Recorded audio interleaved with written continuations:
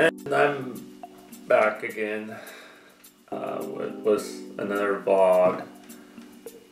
A lot sooner this time, but yeah. And so for this one, like the title says, uh, I'm going to talk about uh, the the job that I just quit uh, after one week. Yeah, was just, under two weeks ago that I left my new job. So, yeah, yeah, uh, it was a job working uh, in the hospital laundry department. Uh, yeah, I would go to a big warehouse, uh, basically just clean laundry or or help help clean laundry, I guess. But but yeah, yeah. So the job actually started r- right after uh, my ski resort job ended. Yeah, yeah, the, they, they were a little flexible with the start date, so I uh, started the day after my last day at the ski resort. Uh, yeah, yeah, on mon- on a Monday. That that Monday it was actually just online job orientation. So I, I was actually right here in uh, in my apartment for the whole day and just doing, I guess, webcam orientation where where they had one person just going through the details of the the hospital that I worked for and other job related stuff. So yeah, that, was nothing, but but I, I still got paid for it. And then Tuesday, they had me come in at 9 a.m. to the actual warehouse, and and uh, yeah, there's uh, another small orientation that I went through with some other new recruits. Uh, th- this was more related to my actual job. Uh, and, and then there was also a lot of paperwork that I had to fill out. Then after that was all finished, I did start uh, working, and I, I, worked until 5:30, uh, and and I got a half hour for lunch. And, uh, so like minus the,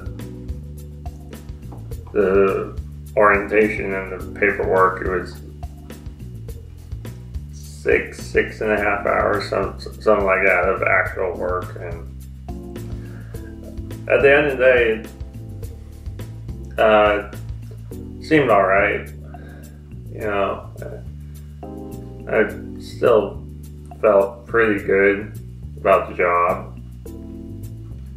Uh, but but then I come in on Wednesday at, at what would be my normal start time at 7 a.m. And I come in and I start seeing people there starting work uh, who left yesterday with me at 5.30 so i'm looking around and i'm thinking this doesn't seem right i mean if, if they worked until 5.30 shouldn't they not come in until 9 like like I did, or or or are they only working until three thirty today, which is what I kind of thought I was gonna do. That day, I ended up working 7 a.m. to 5:30 p.m. Yeah, yeah, uh, that would be full 10 hours. Yeah, and then plus a half hour for lunch. So yeah, 10 full paying hours. Which, which, little good news is that this was my highest paying job that I ever had I was being paid $14 an hour. Well, actually, my exact pay rate was $13.99 an hour. You know, they, they couldn't give me one more penny an hour. But, yeah, yeah, still highest paying job I've ever had. And worked 10 hours on Wednesday. And then Thursday was actually my day off. Because uh, the way they had it set up, the whole warehouse closes on Sunday, and everyone has that day off uh, every, every week. Uh, and then your other day off would be either Saturday or Monday. Yeah, you either have one of those days off plus Sunday for I think it was two months, and then the schedule would change. So then other people could have two days off in a row, and then you, your other day off would change. So my days off were Sundays and Thursdays, and then then it was going to change in two months to either Saturday or Monday. I, I'm not sure. I didn't really look. But yeah, so anyway, Friday I come back to work and uh, in the morning, uh, it doesn't feel like I had a day off yesterday. Yeah, it just felt like uh, I worked Thursday, even though I didn't, and I, I was actually kind of late to work, just because I was just wasn't wasn't feeling right. Yeah, yeah, just feeling off. Only having having worked ten hours one day, having one day off, and then right back to work on Friday. Yeah, but yeah, yeah. So Friday and Saturday, I, I worked a little less, around four forty-five for both days. So like a little bit over nine hours those two days, but yeah, but I was just just so exhausted and uh, overwhelmed, I guess. Yeah, and the, the way it sounded to me during the interview process was that I would usually be working eight hours, you know, with a half hour for lunch, and then occasionally I would work uh, overtime, which sounds fine sounds like something I could do, and I've done that before with other jobs, but I just couldn't do nine, ten hours every single day. Uh, yeah, especially not manual labor, which is what this was. Because uh, yeah, I I had two different positions that I worked the four days I would work when the laundry was coming in. Uh, and yeah, the, the dirty laundry it would come in these plastic bags. and they had these big, tall crates on wheels, as, as tall as I am, and they dumped them out onto a conveyor belt and and then me and another person would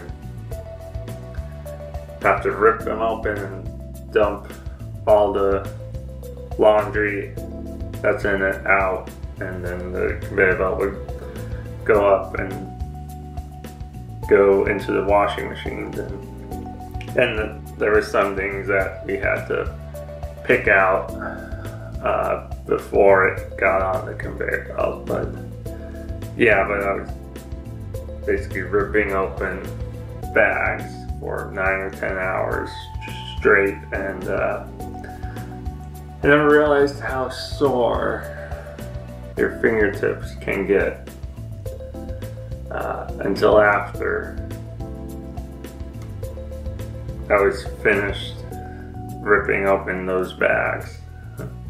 yeah, yeah, they, they didn't give you anything to help you, like like some sort of I don't know, like leather opener. Can't, can't really do a knife that that would be like too dangerous. Yeah. And yeah, and I'm actually all uh, like decked out in protective gear. Like I have two pairs of rubber rubber gloves on each hand, two pairs, and then they give you those scrubs uh, to to wear each day. And then I also had like a long sleeve apron, I guess, also on Mm, this is all protection. And then I also was wearing a face mask because of COVID, so I was quite protected. And then the other position they had me on uh, was for the dryers, like these big, huge industrial drying machines. And the clothes were like come out from this big tube, I guess, and, and then drop into a crate on wheels, and then you push the crate to, to where it needed to go. But yeah, that, that one was a lot easier than the, the other job, and and yeah, you actually got to work with uh, clean laundry this time and, and warm laundry because it, it, it, all came out of the dryer. So, so yeah, it was nice and warm. Yeah, felt good. Yeah, yeah, the, that position wasn't so bad, but uh, also in the whole warehouse it was really loud. I mean, during that interview process, the uh, employer did take me on a brief tour of the place, and I, I did notice it was loud, and he, they do allow you to wear earplugs while you're working, but it's hard to do that and listen to other people giving you directions on how to do your job. So yeah, I, I don't miss the noise. They, they said it was below the, the the noise was below the levels that can cause hearing damage. So I think my ear hearing is okay for now, but still still glad to be out in the in the quiet. I did ask another person who works there, are the hours always like that? And he told me, yeah, yeah, he's usually working uh, 9, 10, or sometimes 11 hours a day, depending on the workload. Yeah, yeah, that was enough to to uh, convince me to quit. And yeah, yeah, by Friday I was ready to quit, but uh, I realized that I worked on Saturday. Uh, the, the, my manager probably went in because he, you know, he's the boss, so probably doesn't work on weekends or, or Saturdays because everyone doesn't work on Sundays. So, so I realized I might not be able to talk to him on Saturday, and I was right. He did not work on Saturday. So uh, I actually ended up writing a resignation letter. I, yeah, I, I just googled resignation letter, and then uh, yeah, then I looked at ones I found online and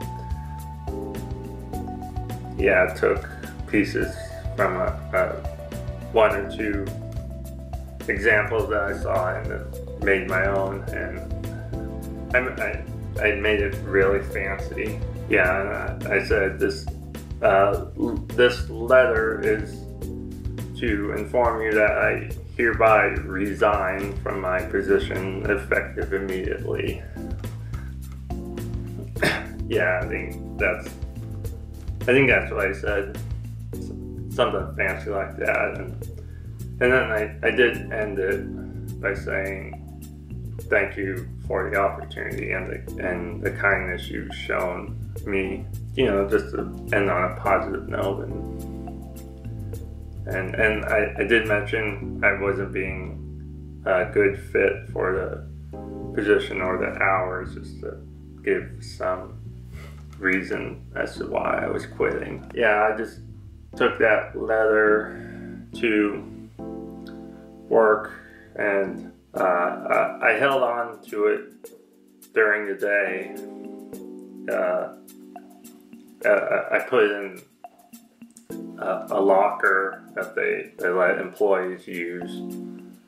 Uh, so you can put your personal stuff in, in there. And yeah, I kept it in there for the whole day and you know just in case maybe Saturday was going to be different and I would only work eight hours but no no didn't didn't work out that way so yeah at the end of the day uh, like as everyone's leaving I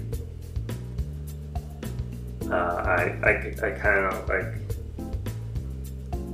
you know, stayed behind and t- took my time uh, getting all my stuff so, so that I could be the one of the last people to leave. And yeah, and then I went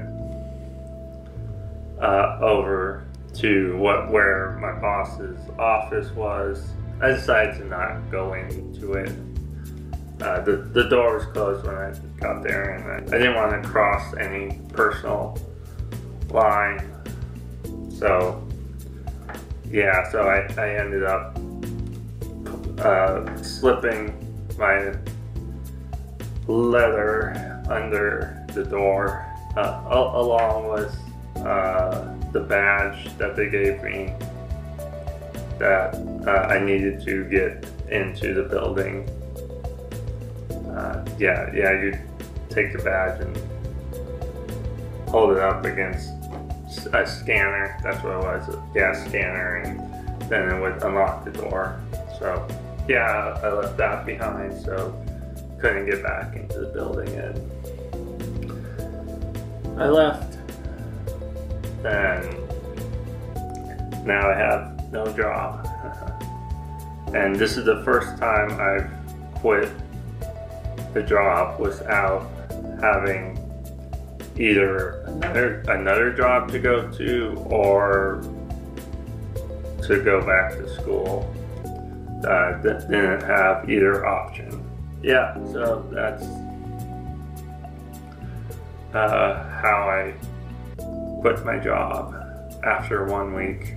Yeah. Yeah, yeah, I've been applying to all sorts of other jobs. Uh, ever since leaving. I, mean, I, I do have the ski resort as a backup. They don't open for summertime activities until uh, they're they're saying Memorial Day weekend is when they're gonna open back up, and they won't be open seven days a week until mid, mid to late June. So just have to see what happens. Yeah. Again. But uh, yeah, but I'm I'm glad that I quit because uh, yeah, I would not want to be stuck at that job.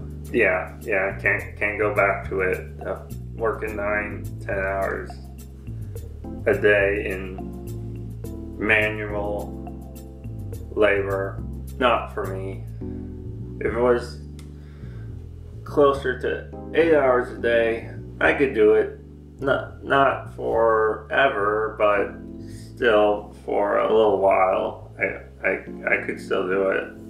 Uh, I would be on my feet all day, but I've had other jobs like that and wasn't the right job for me. So hopefully my next job will be better. But yeah, yeah. So that's gonna be it for this vlog. Uh, until next video, goodbye.